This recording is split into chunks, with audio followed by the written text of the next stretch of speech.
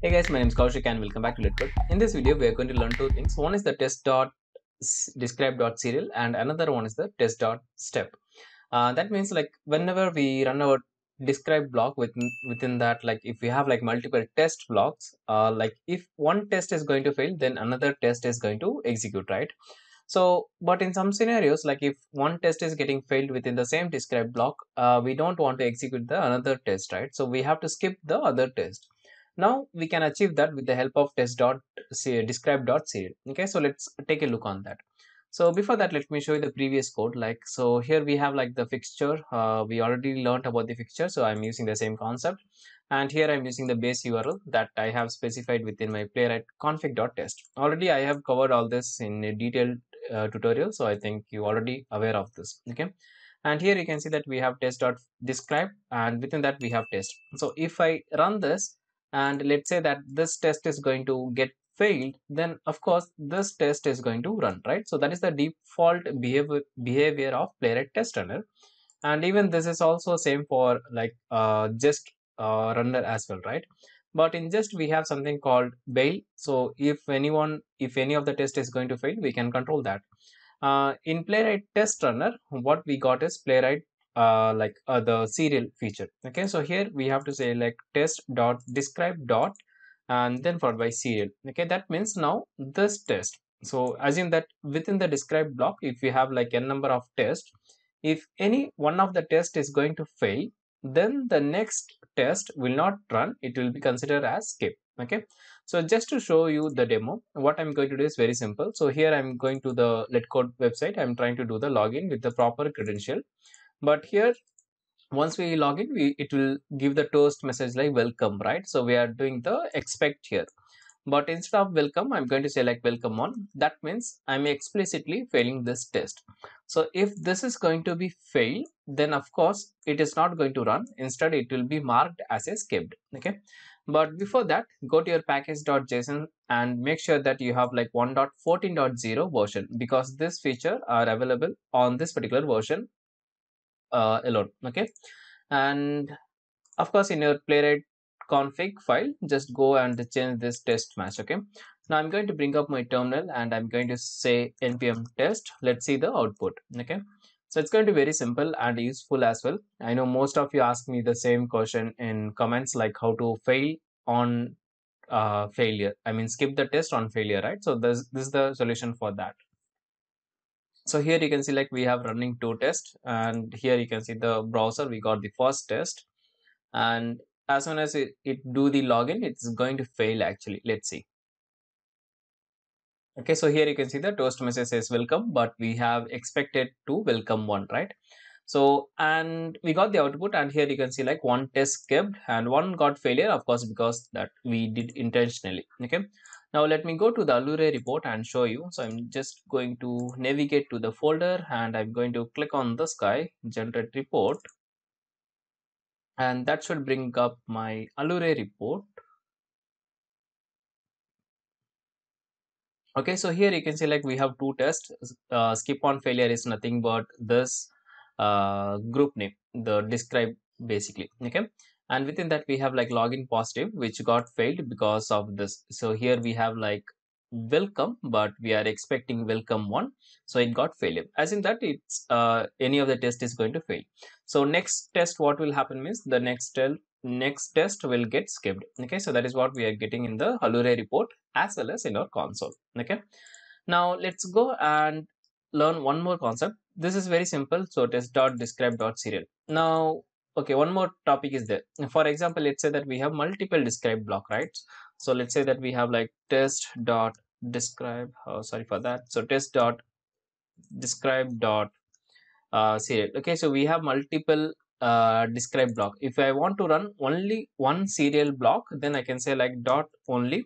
That means this test alone is going to execute. Okay so it's very simple. Uh, like already we have learned like um, uh, test dot only test dot fail all those features right? So similar to that we have like test dot describe dot serial dot only.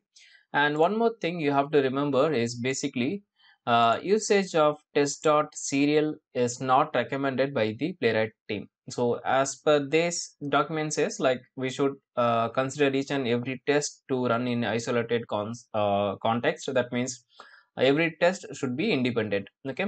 That makes make sense but sometimes we have to uh, do the failure right? So like uh, for example let's say that we are going to log in we are going to search for a product we are going to add to cart and doing the checkout right? In that scenario end to end scenario if any of the test is going to fail of course we should uh, there is no use of running other test right? So in that test i think this is makes sense and of course we can use that okay? Now next thing we are going to learn about the test dot steps i mean test dot steps yeah okay? So what why that is needed in the sense very simple thing as i said like let's assume that we are going to do like end to end test okay? We are going to log in and probably we are going to do some uh, we are going to search for a product in amazon or flipkart and then we are going to add to our cart and probably we are going to do the checkout right? Now this end to end test if i have to write within multiple test block then of course each and every test is going to run in different browser right? Different context basically. But when we say end to end of course we have to run our test within the same browser so that we can uh, store all the cookies like whatever there we can do that right? So for that what we are going to do is we are going to use the test dot step now instead of writing like this long test within the test block what we can do is within the test block itself we can say something like this. Let me show you that. So i'm going to say await uh, test dot step and then we are going to pass some name to it title basically. And then the uh, async callback function okay? So that's it very simple. We can add this. And within this now i'm going to move this code within this okay? Just assume that this is my uh, login scenario okay? This is my login and this is like my one end-to-end -end scenario okay? So end to end test okay? Something like that okay? So this is going to be my end-to-end -end test and this is my first test i'm going to perform like login. And let's say that i'm going to uh, search for something okay? So test dot step and i'm searching for a product or assume just assume i'm not going to write any code. I'm just going to show you the report how it looks okay? And yeah you should use the async or else it will give you compile time error thanks to the typescript compiler and assume that this test is no longer required so i'm going to comment it out. Okay. And here i'm going to say await uh, test dot step. And then let's say that uh, we are going to do some checkout. Okay. So from the cart we are going to check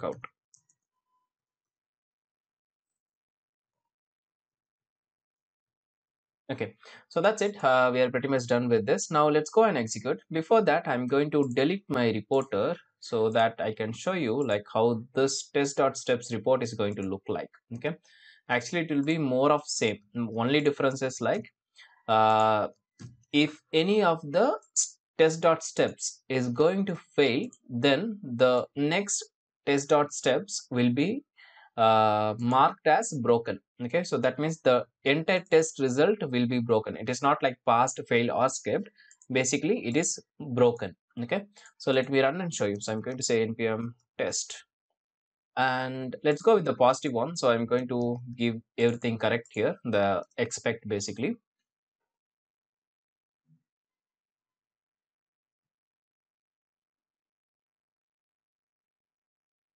so now here you can see like we are running only one test. So previously it was two because now of course we have only one test block. It is only one test. Only advantage is like we can segregate the code into multiple steps. Okay that is the great feature here i see. Because if you have like multiple test block every test block is going to receive the uh, test or page as i mean not test page as a fixture then of course each and every test is going to run in its own context browser context right? So to avoid that we are using this. But here is one problem. Now you can see that we got one failure and the reason of failure is basically uh, timeout. Okay let me show you the report. I think you'll get it more clearly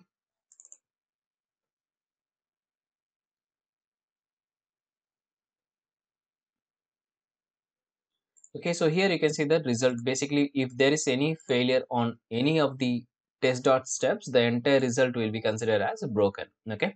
And here you can see the uh, screenshot. It's like uh, something. And the reason of failure is basically uh, timeout. Okay so here you can see like this uh, timeout is there right? Where is the timeout? A pending operation that means actually timeout. Um, yeah why timeout we are getting is basically the test exceed more than 30 seconds. So by default playwright test uh, runs within 30 seconds. If any of the one test is going to take much time more than 30 seconds it's going to fail. We can fix that very easily. Let's go to the config file and here we can increase the timeout. Uh, that's it. Okay so by default it's 30 seconds. We are just going to increase that to some large number. And i'm going to execute this one again and of course it's going to pass. Okay so what you have to remember, if any of the test dot step is going to get failed, probably, I mean, yeah, it will give you the result as broken of that test. Okay. So this is very cool and neat feature. I was expecting this for a long time, like one month, I believe. So yeah, that's a great feature. Okay. So that's it for this video. Uh, let me just show you the report. And that's it, I think. Playwright is really awesome and it's really really cool. Uh, I have planned to make some framework kind of framework videos as well in, uh, in the upcoming days.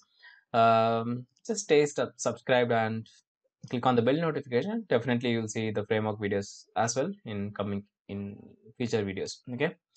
So let's wait until this get logged in and here it got failed. The failure reason is basically I have passed the wrong credential but you can understand right? So basically it's very simple. So if you want to uh, segregate your test in different um, scenarios kind of scenarios like uh, multiple within the same test we can use the test dot step. But here one point uh, we have to remember is basically uh, after each and every steps it is not going to give us the report like uh, the screenshot. Okay so after each and every test it is going to give us the report but not for this test dot step. But i think that might be a great feature so i'm just going to raise a request on the github playwright github page. Probably if there are a lot of upvotes probably we will get get that okay? So yeah that's it for this video. I think this is very simple and easy tutorial. Most mostly like theoretical based i think it's just a concept simple concept okay? So if you want to uh, make your multiple tests within the same describe like if one test get failed you want to skip others you can use test.describe.serial okay? And within the same test like if you want to if you have like end-to-end -end scenario and if you have to perform multiple things you can use the test.step okay? That's it. So that's it for this video. Thanks for watching. See you in the next one. Very soon. Bye bye take care